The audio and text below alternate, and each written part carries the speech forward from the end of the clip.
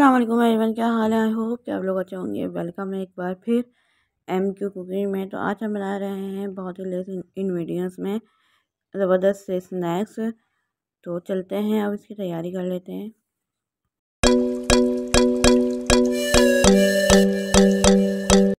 तो इसके लिए हमें चाहिए एक कप सूजी भरकर। उसके बाद जो है, हम इसमें ऐड करेंगे हाफ़ कप मिल्क पाउडर।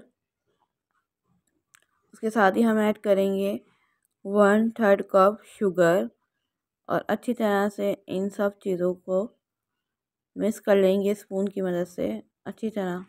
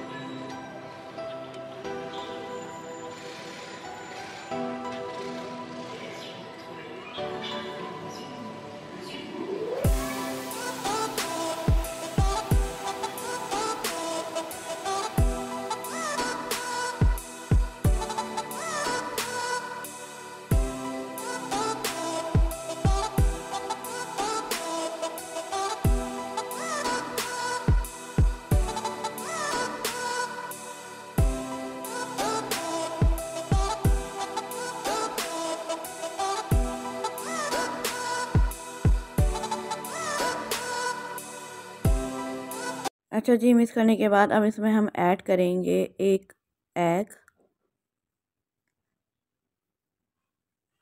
और इसको भी अब हम हाथ की मदद से मिक्स कर लेंगे। अगर आप लोग चाहें तो स्पून की मदद से मिक्स कर सकते हैं, लेकिन हाथ की मदद से अच्छे से मिक्स हो जाएगा। तो यहाँ अच्छी तरह से हम इन सब चीज़ों को मिक्स करेंगे। अच्छा जी, जो भी मेरी वीडियो में नए आए तो वो बेल आइकन के साथ सब्सक्राइब कर लें। यहाँ अच्छी तरह से हम बैटर को समेट लेंगे इसी एग में। अगर आप लोगों को लगे कि बेटर आपका ज़्यादा हो गया है, मटेरियल रो मटेरियल और एग कम है तो इसमें आप दूध ऐड कर सकते हैं लास्ट में, लेकिन ये है कि एग में ही ये सब कुछ समा जाएगा। तो यहाँ जो है हमारा बैटर बिल्कुल रेडी हो गया है। तो इसको हमने एक डो बनानी है और उसके बाद जो है आपने इसको अच्छी तरह से मिक्स करने के बाद इसको हम स्टे करने के लिए छोड़ देंगे थोड़ी देर। इसमें मैंने कोई ऑयल कोई मिल्क ऐड नहीं करा है। ये पूरा एग से ही बना है। तो थोड़ा सा इसको पुश करने के बाद जो है, अब हमने क्या करना है कि इसको हमने ढक के रख देना है और पाँच से दस मिनट के लिए इसको हम स्टे करने देंगे।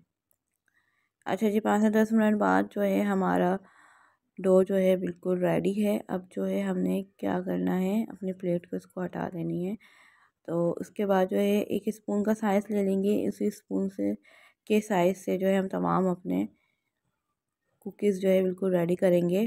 तो यहाँ जो है, बहुत इजी सा सर्किल लेंगे। इसको हम हल्का सा टैप करेंगे और फोक की मदद से या स्पून की मदद से इस पर कट लगाएँगे। अगर आप लोग चाहें तो सिंपल भी ऐसे ही फ्राई कर सकते हैं। मैं जो हूँ फोक की मदद से इस पर कट लगाऊँगी।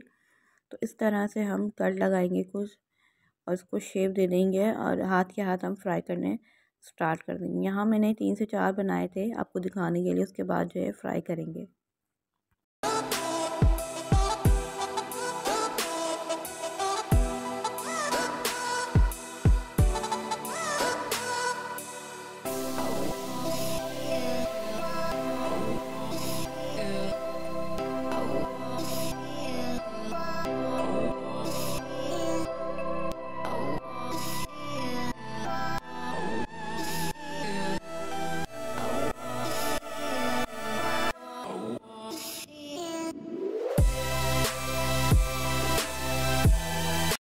अच्छा जी ऑयल जो है हमारा बिल्कुल रेडी है और इसके जो है तेज़ आँच करने के बाद ऑयल अच्छी तरह गर्म करने के बाद फ्लेम जो है हम नॉर्मल रखेंगे, यानी कि मीडियम टू लो रखेंगे और इसको वन बाय वन डालते रहेंगे।